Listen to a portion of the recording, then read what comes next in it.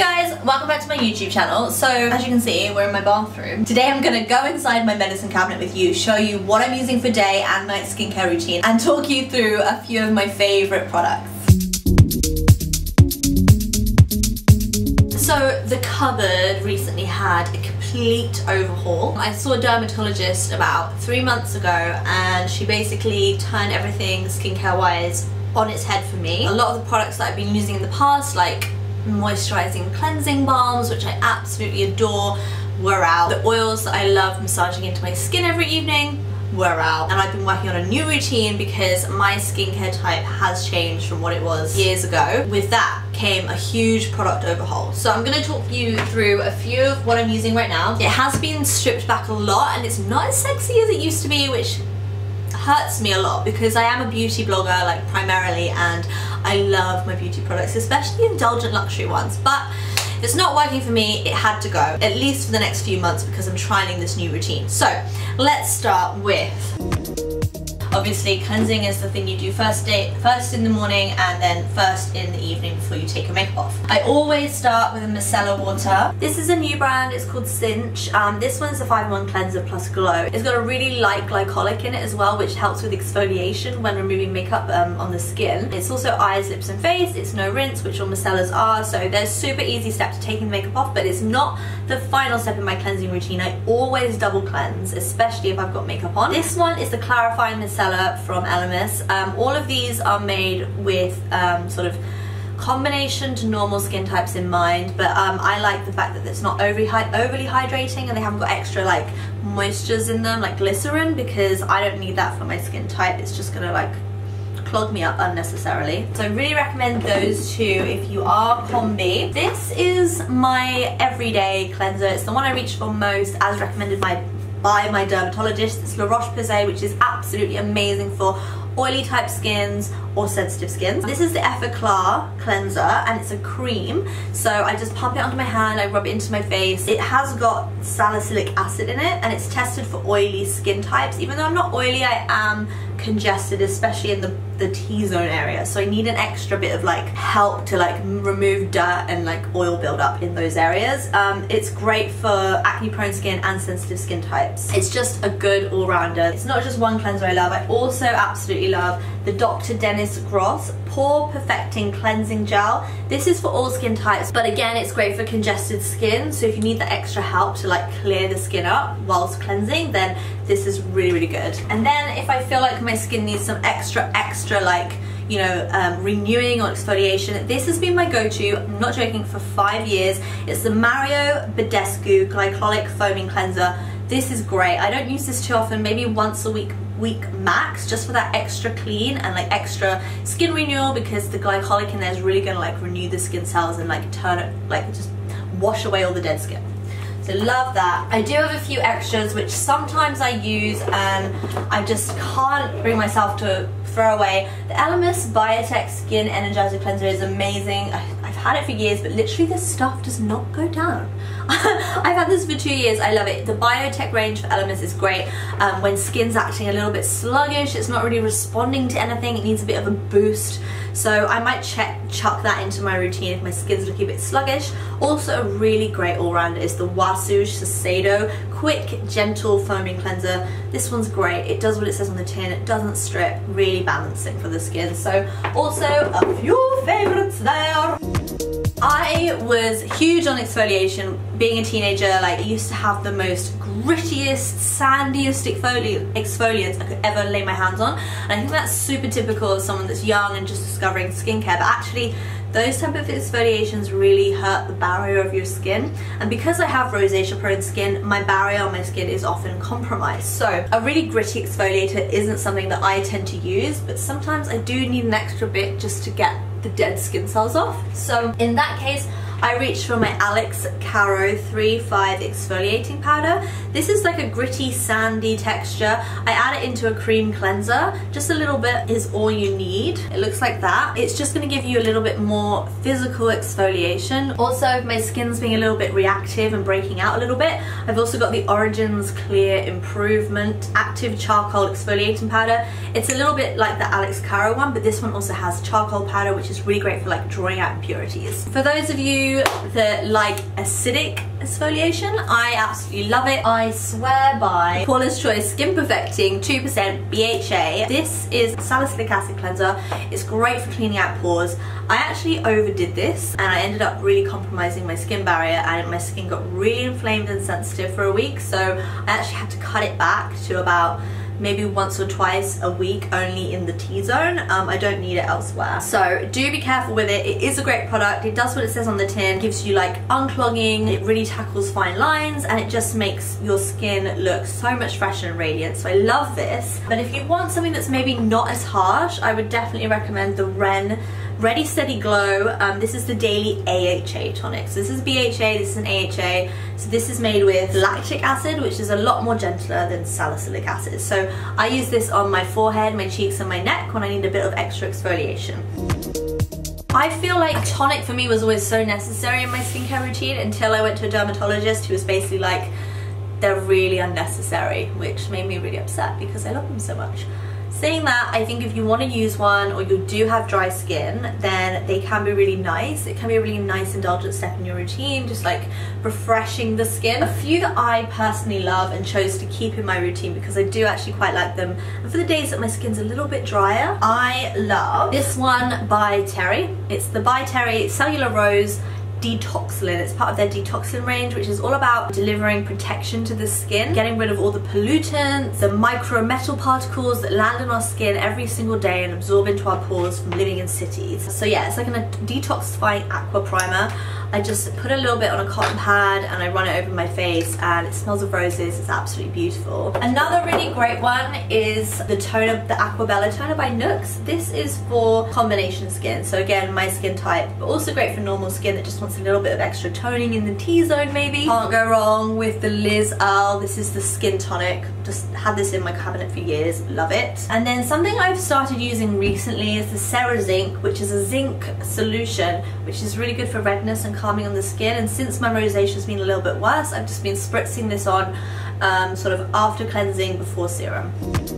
Now guys this used to be like a super big part of my routine um, but I've pretty much been told I need to chill out with the serums. They're apparently clogging up my skin. It's been really stripped back. I do have two hyaluronic acids which I use if my skin is feeling a little bit more thirsty than normal. This one is by The Ordinary. It's basically just plain hyaluronic acid, nothing more, nothing less. If you guys don't know about The Ordinary, it's a super affordable brand which is just basic ingredients that you need to add to your skincare routine if your skin's suffering a little bit. And then I'm also trying out the Dr. Roebuck. This is the ultimate hydrating serum. It, again, it's a hyaluronic acid based serum, but it also contains peptides and CoQ10 as well um, just for some added boost. So that won't go anywhere near my nose or my chin. I just put that on my cheeks and my forehead usually. This product comes really highly recommended to me. Um, it's ZO by Dr. Obagi, who is, if you know him, you'll know how much a renowned name in skincare he is. He basically hates oil. He believes oil is evil for the skin. Oil isn't for every skin type, but he personally believes no skin type should use oil. Anyway, this is his Daily Power Defense, um, which is a cocktail of retinol, um, which is a high potent uh, vitamin A, and loads of other um, antioxidants, which you put on your skin every morning. Um, it's a really, really nice serum. It gives me protection. It also gives me the retinol fights against aging and wrinkles. So really, really nice. You need to remember to wear an SPF if I'm wearing this though. Also, another all-time favorite. Um, I'm not using this as much anymore because I'm strictly on like hyaluronic acids and antioxidants, but this is the Shiseido Bio Performance. It's the Glow Reviving serum. It's beautiful. If you're in the market for a serum for normal to combination skin and you just want glow, it's something very simple that's not gonna like clog your pores, wax well with everything. This is lovely. This I've been asked to use by my dermatologist. It's SkinCeuticals Serum 10. I know so many people swear by this baby. It's a really high potency dual antioxidant. It's got 10% L-ascorbic acid and ferulic acid. You put four to five drops onto your uh, hand in the morning and then you just press it into your face and your neck. Again, it's a preventative, it's an antioxidant. It's got very, very, very high levels of vitamin C inside it. I've only been using it for about three weeks, so the verdict's still out for me, but I know it's it's well loved. I get breakouts now and again like anyone. I treat them with two products. This was recommended to me by Emma of Lolita Says So, which is a, she's a great skincare blogger. This is the Tata Harper clarifying spot solution. I just take a teeny bit of this and I put it on the spot if it's not that sort of angry. All of the spots that are like really, really angry and aggressive and hate me. Um, I have a little secret. I've been using this for about five months on all my zits. It is an antibiotic ointment. I got it over the counter in the USA. Um, you can't buy this stuff without prescription in the UK. It's disgusting. It's like waxy gel thing. It's supposed to be for like cuts and scratches or infected parts of your body but the way I look at it, an antibacterial ointment is the perfect solution for a spot that is essentially bacterial. I put these on spots and they tend to clear up pretty quickly. If you are in the States, I would recommend getting some of this over the counter. I find like creams to be maybe the least sexy part of my skincare routine. They're also the skin item in your cabinet that's gonna probably do the least for you. I know that's probably gonna blow a few people's minds, but creams are basically essentially barriers to all of your other skincare. So You've done your cleanser, you've done your ointment or your toner, you've done your serum, got an acid on there. Your moisturizer is what's gonna lock in all of that skincare and make sure it's going into your skin and penetrating rather than being absorbed back into the atmosphere around you, right? So your, your Cream is just essentially a barrier. So ones that I love, I'm gonna jump in with this one. This is a really good high street one. It's a Hydro Boost Gel Cream by Neutrogena. I love the Hydrogel range. It's really, really lightweight, very cooling on the skin. It's perfect if you've got a really good skincare routine already. You just need that extra layer. This is probably my favorite ever moisturizer. I'm not using it so much at the moment because um, I've been told to use lighter products because I'm trying to like clear out my skin a little bit because it's become super sluggish due to all the oils and hydration I've been putting on it over the last few years. So I'm having to sort of like starve my skin a little bit to get it like working properly again. But I'm hoping one day I can go back to this one because it is a super lightweight moisturizer. The moisture inside of this is hyaluronic acid, it's super pure. Pestle and Mortar is an amazing organic skincare brand. I love them. I love the airtight delivery system on this. You just push it down and then you get a pump of the cream come up. Honestly, this is my most favorite ever moisturizer. I wear it, I would wear it summer to winter all year round. It's just so lightweight. It's perfect. Something I've been prescribed recently by the dermatologist I'm seeing. Like I said, my rosacea has been flaring up recently. It gets worse if I'm drinking more. I'm not really drinking that much right now, but also gets worse with the weather changes when it gets cold. So this is the SkinCeuticals Redness Neutralizer. It's basically gonna like relieve any discomfort and irritation you receive when your skin's like really like tight due to like the cold weather changes or if you notice it's like irritated or there's, you're flushing a lot. But if you do find that your rosacea is flushing or you're getting like irritated skin like that, this wouldn't actually be the first thing that I recommend for that problem. I'll show you what I would recommend. This is the Avène, Avène Skin Repair Emulsion. It's like a blue color. Um, and I actually picked this up when I had a really terrible rosacea outbreak. My skin barrier, like the skin barrier was fucked and it just went all red and bumpy and I had like flaking on my skin for a week. My skin barrier was absolutely annihilated because I was using too much acid. This stuff saved me. My everyday moisturizer right now, I am using these two on a day when my skin is extra thirsty but on a day when my skin's quite regular I'm using the Redermic C10 which again is an antioxidant vitamin C moisturizer from La Roche-Posay. I really do like this one. It's really effective for protecting my skin. It's also anti-wrinkle.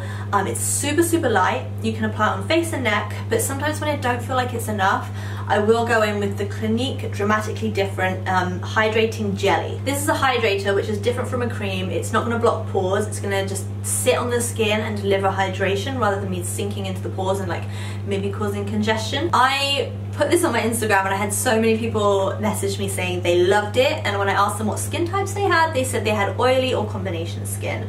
So it's well loved. It's also 100% fragrance free and it's dermatologist developed. Um, so it's a really good one. I also have in my cupboard now this is a forever favorite.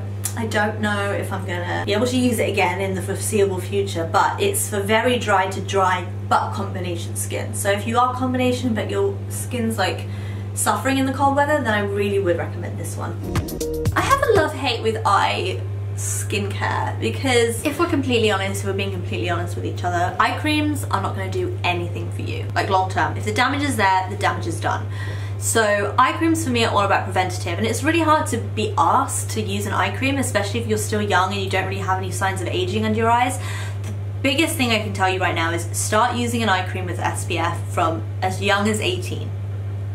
That's my advice. I'm 30 years old, so I use every night a retinol eye cream. Again, La Roche-Posay, it's an amazing brand for retinol products. I am told I can use this every single day, day and night, but I prefer to just use it at night. A retinol eye cream is great. I also would recommend the Retinol Eye Renew Serum from Murad. This is also really great. For the daytime, I love the Shiseido Bio Performance Glow Revival Eye Treatment. This is the same as that Shiseido serum that I showed you earlier, but this is specifically for the eyes. Just gives me a little bit more extra hydration. Um, I don't have SPF in this because I do use an SPF over my skincare, which I will show you next.